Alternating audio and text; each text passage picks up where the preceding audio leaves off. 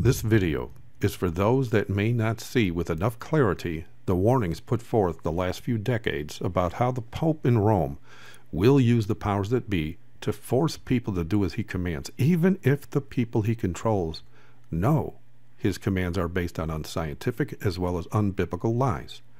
Students of prophecy have declared all along that the talk of a new world order that started, by the way, with Roman Catholic Emperor Adolf Hitler and is now on every politician's lips since the Vatican met with the leaders of all the nations, as well as all the CEOs the world over a few years ago. It has also been proven many times over that the invention of the United Nations, which we know is the harbinger of a one world government like the United Religions Initiative became the One World Church, all of this was prophesied and fulfilled via the political movements of the popes of Rome since 1929 forward, when the pope's long prophesied mortal wound was beginning to heal. And so, as we have been saying for many years now, the Pope will have to invent a global crisis to move everyone into his camp so as to make enforcing the mark of the beast worldwide that much easier for him to do. Well, as expected, the proven bad science of global warming is an exact fulfillment of that prophecy. And so, those nations, as well as all the individuals in those nations that refuse to embrace the fake crisis of global warming, the Pope will most assuredly use his United Nations military force to demand that they do as he commands. For Christian prophecy is that accurate, and it will be fulfilled to the letter. With that all being said, notice this.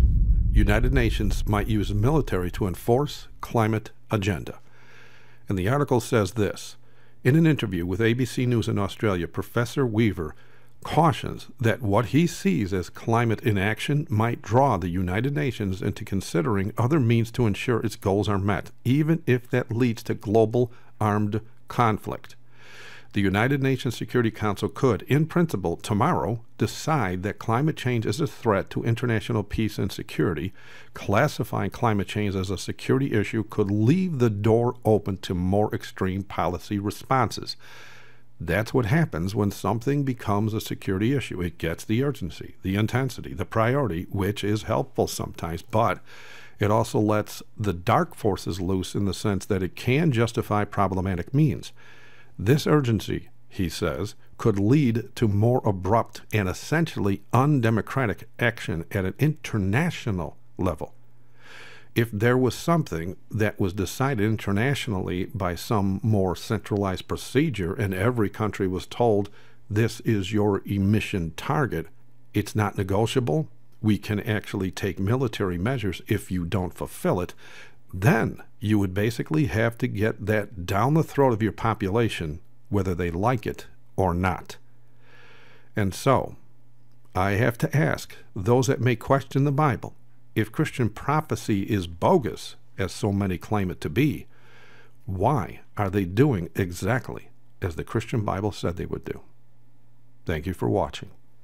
God bless.